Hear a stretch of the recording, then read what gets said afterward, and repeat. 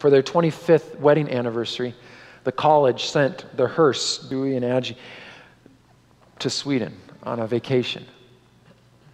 So she took the opportunity to look up her father. Found out he'd, he'd remarried and had four children.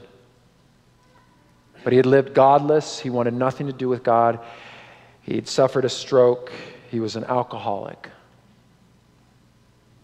She met her step siblings and then asked to see her father.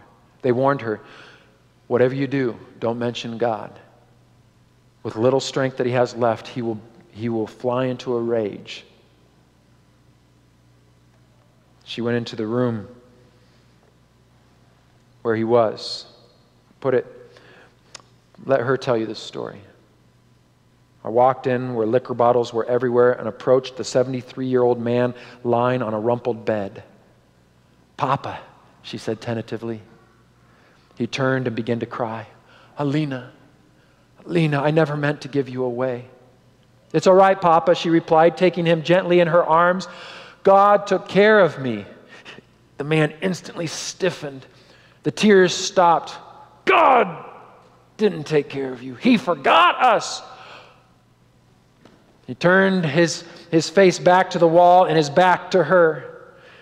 Aggie stroked his face and continued undaunted. Papa, I've got to tell you a story, and it's a true one. It's a true story, Papa. You didn't go to Africa in vain. Mama didn't die in vain. The little boy you won to, to Jesus grew up to win the village for Jesus. The one seed you planted just kept growing and growing, and today there are 600 African people serving the Lord because you were faithful to the call He put on your life. Papa, Jesus loves you. He's always loved you.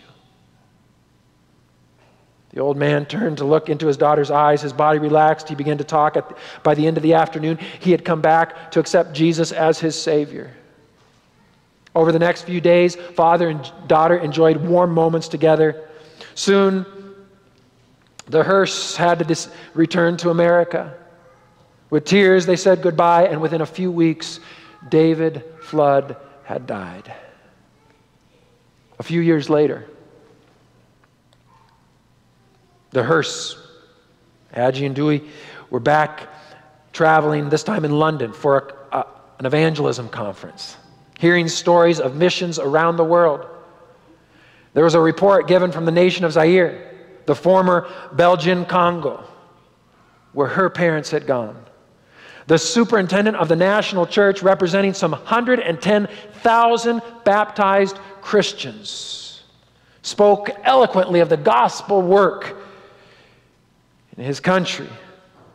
Afterwards, of course, Aggie couldn't help but going to ask him if, she, if he had ever heard of David and Svea Flood.